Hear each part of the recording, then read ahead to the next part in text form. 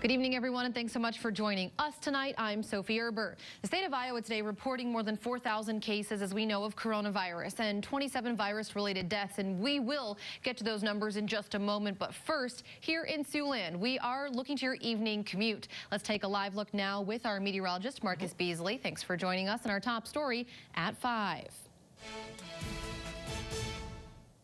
Well, taking a look outside at the Storm Tracker 9 cam, we are seeing that roads are improving.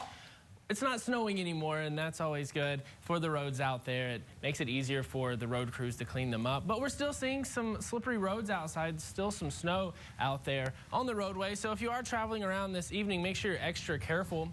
Doesn't look too bad out there, but again, that slushiness uh, is definitely slippery compared to a dry roadway. So make sure you take that extra caution. But it does look like things will improve here in the next few hours. But remember, temperatures are below freezing right now. 27 in Sioux City and Wayne, 25 in Le Mars and Orange City, 26 in Yankton, 26 in Cherokee as well, and 25 in Storm Lake. So as we head into the overnight period tonight, freezing temperatures will persist, and I don't think that's going to help matters at all as far as the roads go. So Still be mindful they could be slippery overnight tonight as we will see a cold night. Satellite radar showing that snow beginning to slide to the north, so we are going to see things improve as far as falling snow over the next few hours. But again, tonight, be mindful that roads could stay slippery. More details coming up on what we can expect throughout the rest of the week in the 9 on 9 forecast. Sophie? All right, thanks a lot, Marcus. Now, Iowa Governor Kim Reynolds today releasing some new health measures as our state continues seeing a surge in infections that could overwhelm local hospitals. The new measures require people to wear masks while attending indoor gatherings of 25 people or more. For gatherings of 100 or more, indoors or outdoors, masks will also be required. The new measures are not mask mandates and do not apply to local school districts. For bars and restaurants, social distancing, limited groups, and increased hygiene practices will be in play. Governor Reynolds looking to avoid a second statewide shutdown and keep businesses open. I'm here to tell Iowans, I need your help. If you want to keep our businesses open, if you want to keep our kids in school, if you want to make sure that we have hospitals and long term care facilities and we have clinics that can treat not only COVID patients, but that they can treat other individuals that have serious health conditions that need to go to the hospital, then we all have to buckle down and take this serious. These new restrictions are effective starting tomorrow through the end of the month. You can find a full breakdown of the new measures on our website right now. That's SiouxlandProud.com. Taking a look now at the latest COVID-19 numbers here in Siouxland, Woodbury County health officials confirming the 103rd virus-related death. This as 115 more cases are reported. 56 patients currently in hospital due to COVID-19. In Nebraska, Dakota County has 15 new positive tests today. The county there totaling more than 2,700 positives. And in South Dakota, Lincoln County reports 86 new confirmed cases. The county tallies more than 3,800 infections. As COVID-19 cases continue rising throughout the tri-state area, some communities are implementing new health measures. Over in Madison County, the Elkhorn-Logan Valley Public Health Department reporting it's moving in the wrong direction, with a total count now of more than 3,000. In response to that, and family input. Norfolk Public Schools announcing a virtual option for families come the spring semester.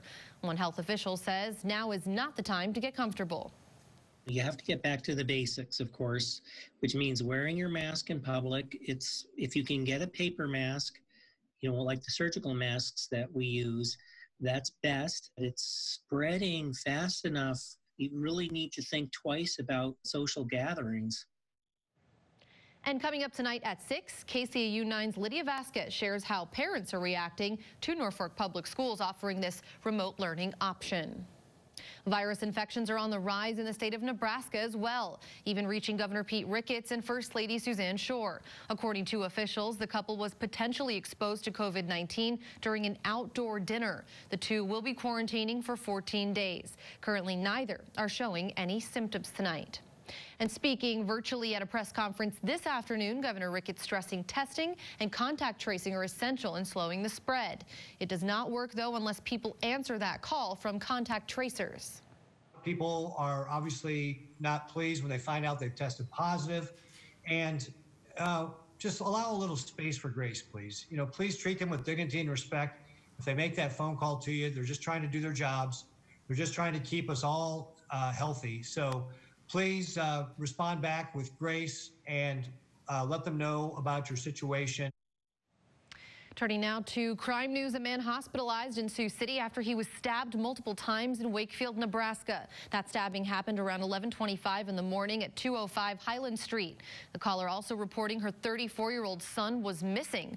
Shortly after Dixon County deputies responded, the Wayne Police Department was informed of a 34-year-old Hispanic man, the victim. He was being treated for multiple stab wounds at an area medical center. Now, no further details are being released at this time. However, the investigation remains ongoing. And at least one person is injured tonight after a pickup truck crashed into the North Sioux City Subway restaurant. That crash happening around 11 this morning. According to the store's manager there, an elderly man had just visited the store but left his Ford in drive, crashing it into the storefront. The manager says they had an employee sitting at a table by the wall when that truck made impact.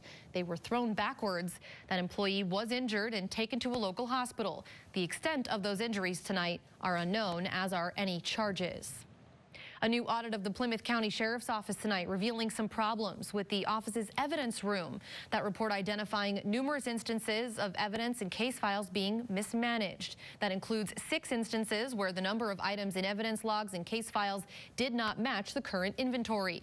Five instances of tampering with evidence bags and 18 instances where evidence was not sufficiently logged. Now, the report does recommend the Sheriff's Office strengthen controls in seizing those forfeited items.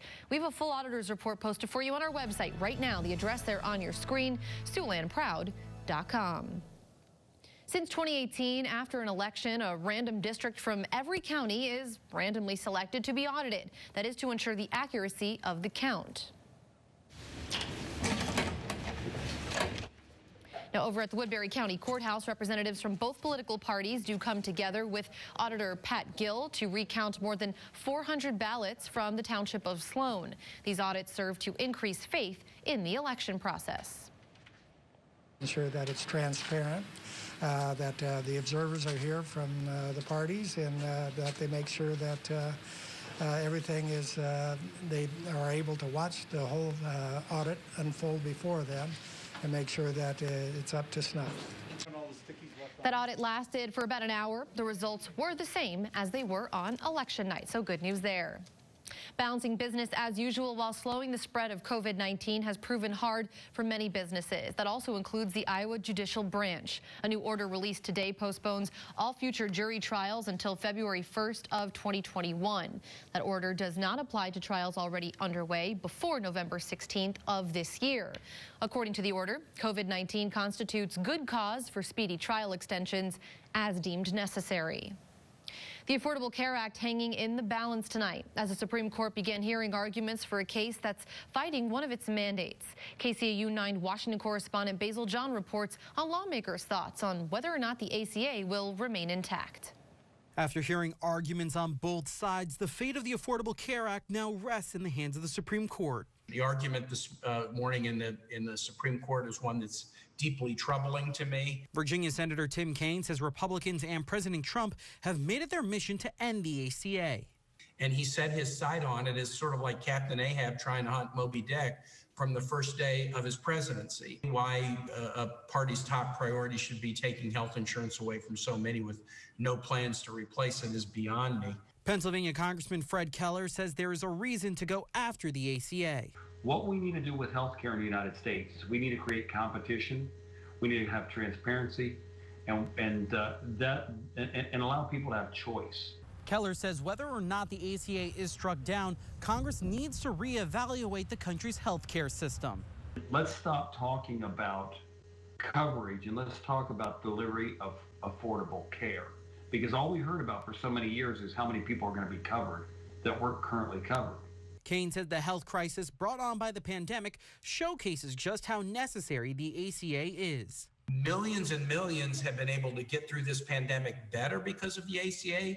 This administration has pursued a one way path to reducing coverage, and we don't need to keep going down that path. A decision on the case is not expected until June. In Washington, Basil John, KCAU 9 News.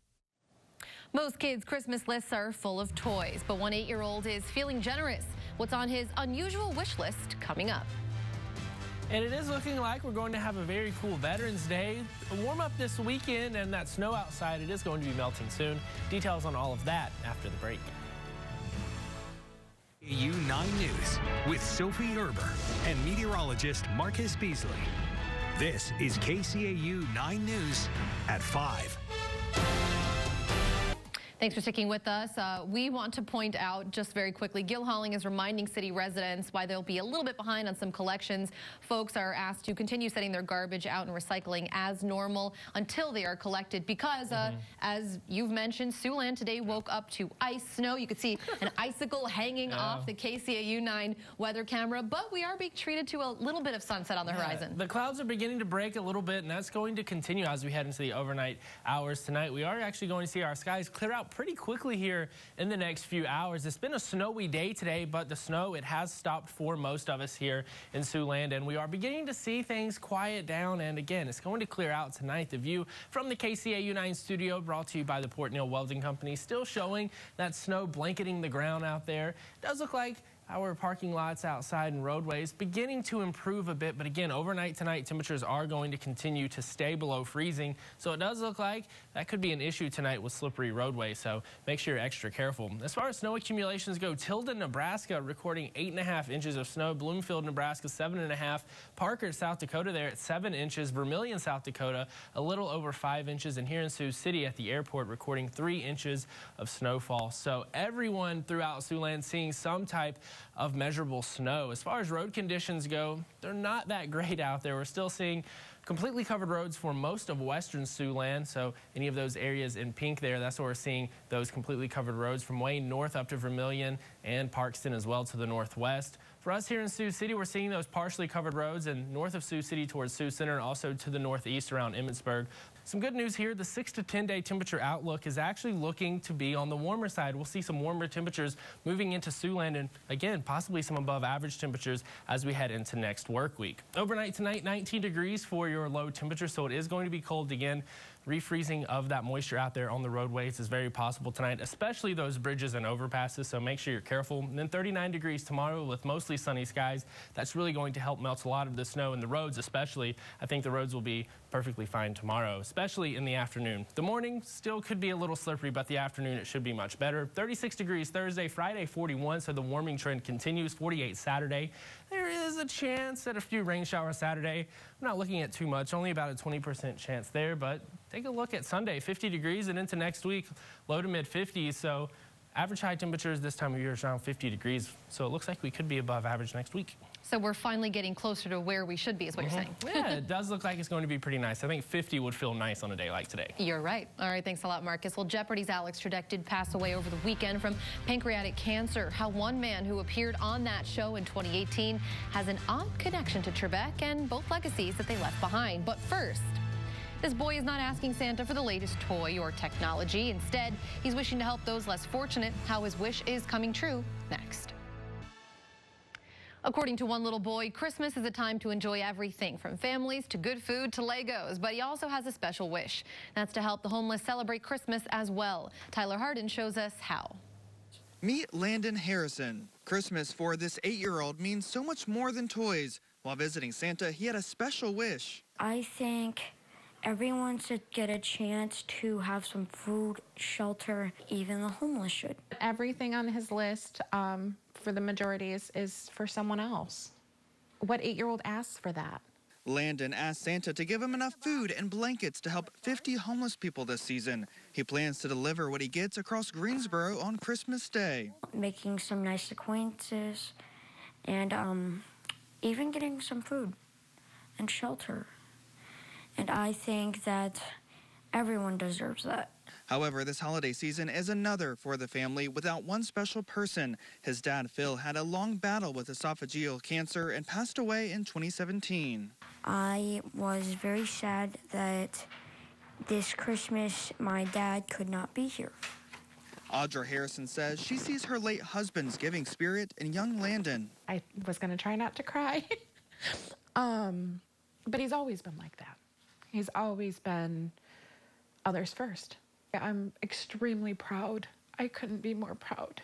Even on his birthday, Landon asked his friends to create blessing bags with food to give away. I didn't care if they brought me any letters or anything. I just want to help. Now he and Santa's elves are working to make his Christmas wish come true. It's a special boy. We'll find out how a Kansas teacher who followed his dream led to an uncommon connection and how he's leaving a legacy even after his passing right after the break. Welcome back. Just months after competing on Jeopardy, a beloved teacher passed away from pancreatic cancer. It's the very same cancer that took Alex Trebek's life yesterday. Sherry Honeycutt shares his legacy. In Mr. Martin's second grade classroom, dreams were made. He always took the time to listen, and I felt like his children felt that too. They always felt like they were so important and that what they had to say was completely interesting to him. And one day, Larry Martin's own dream of being on Jeopardy came true. In 2018, he won the Teachers Tournament, earning $100,000 on the program. I've been chasing this dream for, well, really. Uh, in earnest for 17 or 18 years, and it came true better than I could have hoped. So I hope that's inspiring to them. He inspires me because he's a really good teacher and um, he's really like nice and he's really smart. Shortly after Mr. Martin won, he was diagnosed with pancreatic cancer. My hope was that he could get the care and that they had caught it soon enough that he could have a prolonged life but knew that he had a battle ahead of him. He passed away in January of last year and was remembered by Alex Trebek,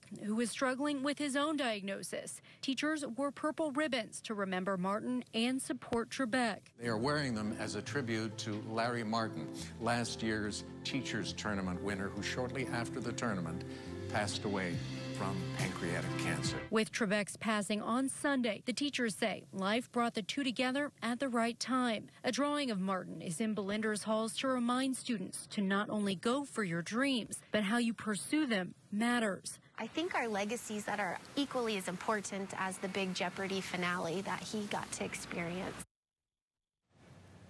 Taking a live look outside right now at sunset over Storm Lake. Marcus will return with another check on our forecast coming up next.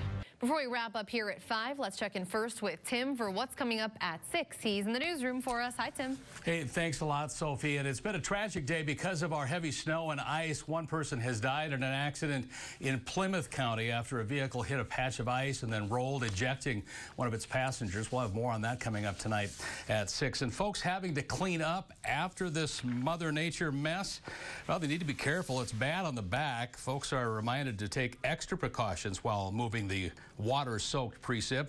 That is, unless you have this kind of shovel that you can turn to, and not everybody's that lucky. Also at 6 tonight, the story of one Boy Scout and his troop who are making dozens of school desks. It is a project that uh, will not only help him become an Eagle Scout, but help some fellow students as well. And as you can tell, they're not building those desks here in Siouxland. it's a little sunnier there. That's right. Well, that could have been footage from this weekend. Yeah. Thanks a lot, Tim, because we went from uh, having 70s to having this, and uh, overnight temperatures dropping down once again. Yeah, it's going to be really cold tonight, upper teens, lower 20s. Mm. So that refreezing on the road definitely going to be an issue tonight, especially on those elevated bridges and overpasses. So make sure you're careful if you're driving around tonight. And then tomorrow, we're going to see a lot of that snow, especially melt off the roadways. 39 degrees tomorrow, plenty of sunshine. So it is going to be a bit nicer tomorrow, and we'll begin the process of melting the snow. And it looks like we'll continue to see warmer temperatures as we head into the weekend, with above average temperatures returning next week. I like how that sounds. Thanks mm -hmm. a lot, Marcus, and thank you for joining us. I'll see you back here at 6. Until then, have a great night.